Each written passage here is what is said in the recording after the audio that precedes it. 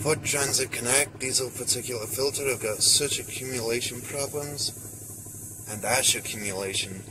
So I'll have a look at the live data, see if I can look at the pressures. I'm not too worried about the AC clutch relay circuit. I'm only here to do a regeneration on the car. So here I've got the diesel pressure. It's 15 and that's kPa. So I think that equates to around what 3 psi. Uh, don't quote me on that. I'll have to look that up. Oh yeah, that's going right up. So and the car's got no power, so I take it it is choked. What I'm going to do is maybe just verify that with a mechanical gauge. I'll go to the sensor. I don't need to, but I might just do it since I'm here. Do a before and after pressure test. There we go.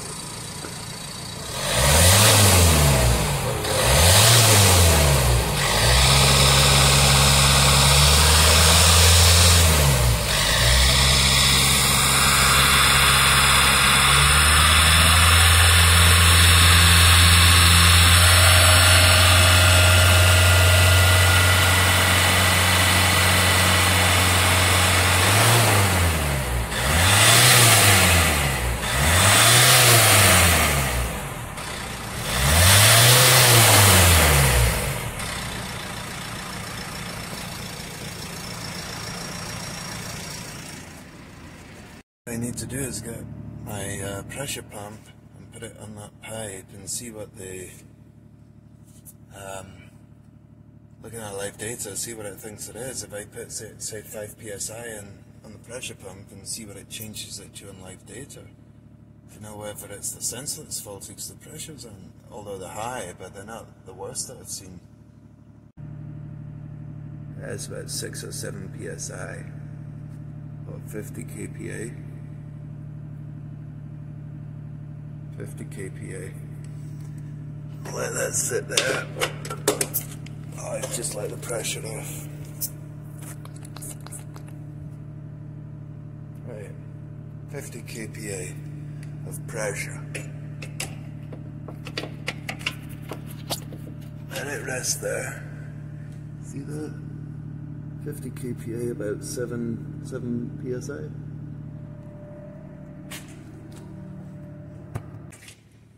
Okay. 100 kPa is one bar.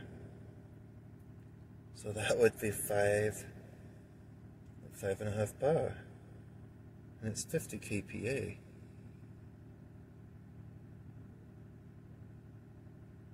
That's not right then.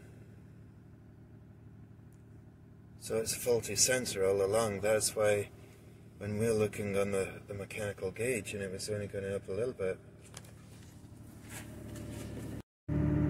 If I remember right, it was going to about here when I revved it. Tick over nothing, about one, one psi. When I revved it up, when I blipped it, went up to three. All it is after all this is a faulty pressure sensor. It's going to be cheaper than changing the DPF though. Thanks for watching.